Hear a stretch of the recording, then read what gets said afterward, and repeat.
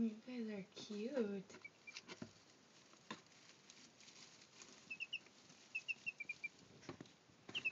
Oh, those are our six chickens. Very curious chickens. Hey, buddy. What you doing?